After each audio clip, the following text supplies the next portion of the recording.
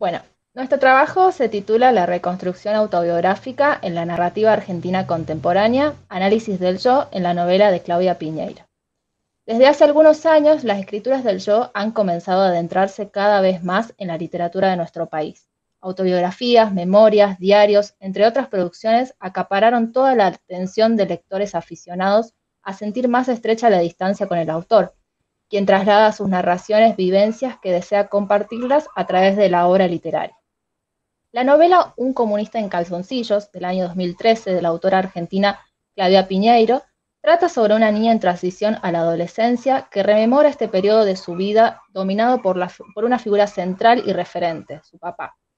A partir de diversas situaciones en el hogar familiar, en su escuela y hasta momentos políticos como la dictadura del año 1976, es que la protagonista se ve envuelta en una admiración y una crítica constante para su padre.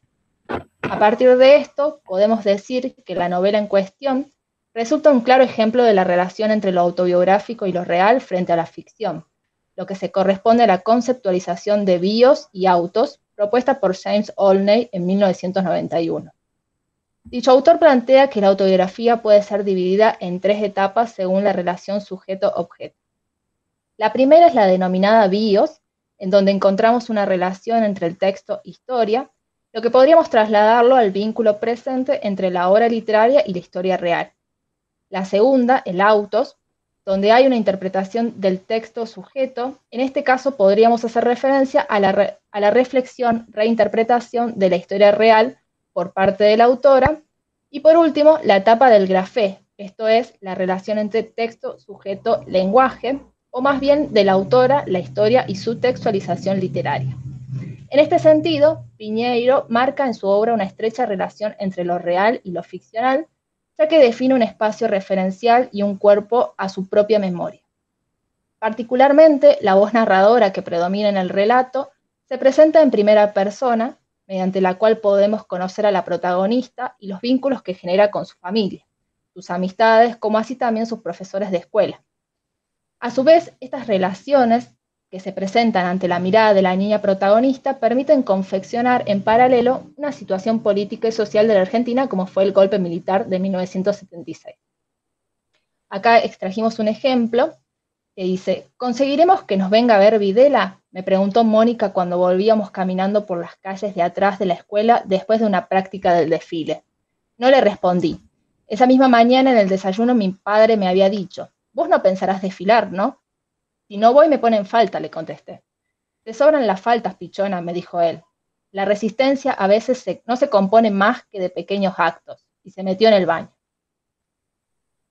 Sin embargo, es evidente que la segunda figura central, y sobre quien recae principalmente el relato, es el padre la protagonista, quien desde el título de la obra se aclara, es, o al menos, tiene ideas comunistas. A partir de esto se presentará una confrontación entre el ámbito familiar de la niña, adolescente, protagonista, y el ámbito social de esta última, quien se ve envuelta en la compleja decisión de determinar cuál de los dos es el que, a su entender, dice la verdad.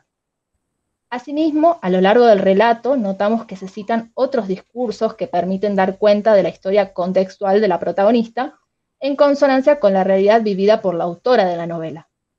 Veamos el siguiente ejemplo.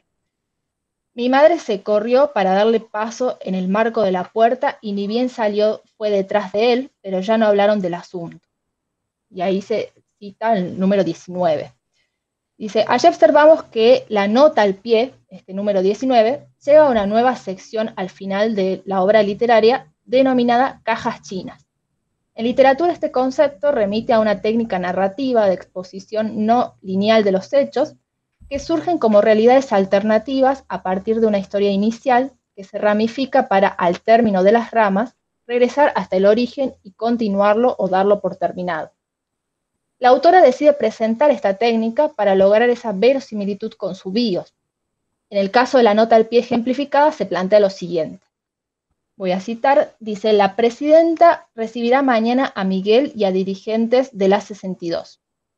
El señor Lorenzo Miguel tiene abiertas las puertas de la presidencia para, dialogar con el gobierno, pero encuentra dificultades para convencer a las estructuras sindicales. Su afirmación de la semana pasada de que lleva a la señora de Perón el apoyo incondicional del movimiento obrero merece por lo menos ser sometida a la prueba de los hechos. Esto aparece en La Opinión, el, el periodista es Sergio Cerón, 2 de marzo de 1976. De esta manera, uno de los recursos que incorpora Piñeiro es el anexo de fragmentos periodísticos, como el que nombré anteriormente, en donde se observan otras posibles voces, en este caso la del periodista Sergio Cerón, del diario La Opinión. Es un discurso en donde se presenta la objetividad y por lo tanto uno de los archivos verídicos que da un contexto histórico al argumento que se plantea en la obra. Bien, continuando con lo que dijo mi compañera, diremos que también otro elemento que incorpora para enfatizar la ficción autobiográfica son los recursos fotográficos. Estos constituyen archivos verídicos de la historia familiar y personal de Piñeiro.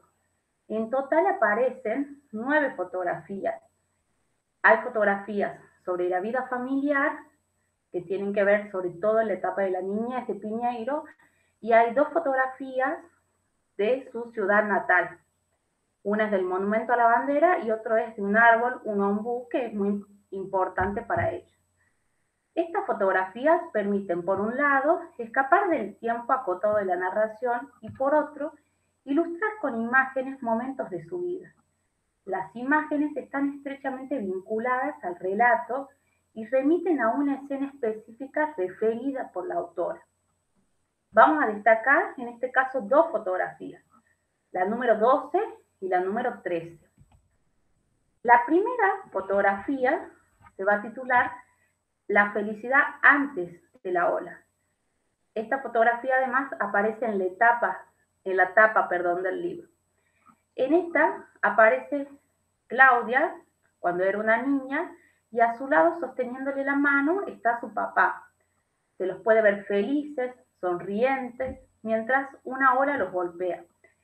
Él mira la cámara fijamente mientras ella achina sus ojitos e irradia una gran sonrisa. La siguiente fotografía, es decir, la número 13, se presenta en esta imagen el instante posterior al golpe de la ola. Se denomina la felicidad después de la ola. En esta escena, su padre todavía sujeta su mano y en este caso, él la observa a ella divertido. Pero Piñeiro tiene la mirada hacia abajo y un gesto de enojo o de disgusto que quizás lo podemos interpretar que se debe al impacto de la ola. La magia de la fotografía está en retratar un instante o un momento en particular de la vida.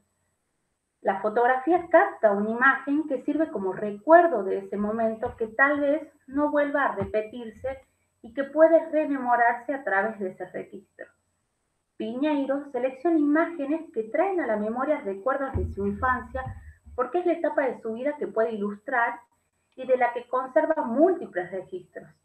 En cambio, de su adolescencia no hay capturas con imágenes. Cito. Hay años, etapas enteras de mi vida, de las que no tengo registros, registros fotográficos. La adolescencia, por ejemplo. No puedo ilustrar mi adolescencia con imágenes. Mi adolescencia es una evocación a la que no le puedo confrontar con imágenes. Ella acá hace referencia de que al no tener imágenes que representen su adolescencia y representen también esos recuerdos, no puede a su vez confrontar las imágenes y contradecir lo que ella recuerda. Un aspecto significativo también en la reconstrucción autobiográfica de la autora a través de esta novela es la exploración que realiza en sus recuerdos con el, afán de entender a su propio yo desde una mirada preadolescente acerca del vínculo con su padre en circunstancias políticas adversas, las que mencionó anteriormente mi compañera. Sin lugar a dudas, el silencio fue un refugio para Piñeiro, en un momento complejo en el cual no podía expresarse lo que pensaba, callar fue una forma de resguardo para ella y al mismo tiempo se convirtió en el motor que más tarde la condujo a la literatura como sustancia de vida. Cito, El silencio me protegía, escribe Piñeiro, hacía que pasara desapercibido. En una escena ella relata cuando la profesora de historia, la vieja Beruti, la llama y le pregunta, ¿tus padres son comunistas? Ella le dice que no porque sabía que la palabra comunista no se tenía que pronunciar. El miedo la hace reaccionar y no admitir que su padre era comunista, porque él decía que lo era, pero en su casa, en calzoncillos, no salía a dar batalla. Era algo utópico. Cito, un comunista declarado, enfático, pero no practicante. A lo largo del libro podemos ver varios momentos en que Piñeiro, en su adolescencia, percibe una contradicción entre su mundo familiar y el que hay fuera de su casa. No puede decir lo que piensa sus amigas, ni contar las ideas de su padre con respecto a la realidad política y social de la época, ni mucho menos explicar los verdaderos motivos por los cuales él se negó a asistir a las reuniones para reclamar la reivindicación del monumento a la bandera de Bursaco. En definitiva, y a partir de lo que hemos analizado, podemos decir que en la novela hay una doble ruptura, por un lado la humana y por otro lado la histórica. La histórica porque el país vive la caída del gobierno de Isabel Perón y la llegada del poder militar con Jorge Rafael Videla en 1976. Y por otro lado, la humana, porque la narradora dejará atrás la adolescencia, esta etapa de su vida tan cerca del padre, ese ser tan solar en su vida, ese hombre amargado, ese hombre enojado con el mundo del cual ella es parte integrante, ese hombre que se creía comunista y decía que el capitalismo se fue al carajo. Entonces, vaticinaba ideas claras sobre el país y la política, ideas que se oponían a la vida, a la vida fuera de su hogar de la protagonista, ideas que la llevaban a guardar silencio y le exigían una prueba de lealtad. En esta novela autobiográfica, la relación entre el Dios y el acto permiten construir una configuración de la interacción entre la autora y la representación de su yo, a través de sus recuerdos y de la relación que mantiene con otros personajes, principalmente su padre. Cito, el recuerdo, dice Piñeiro, al final de la historia, puede ser falaz, una mezcla de datos ciertos e inciertos que se fusionan casi como en un sueño, y al que muchas veces nos resistimos a contradecir y modificar, aunque una, aunque una foto, una nota periodística o los recuerdos de otras personas o de otros tiempos los pongan a prueba, porque los recuerdos son nuestros, entonces en ellos no hay verdad ni mentira, recuerdos encubridores. Bueno, aquí finaliza nuestra presentación. Muchas gracias. Muchas gracias.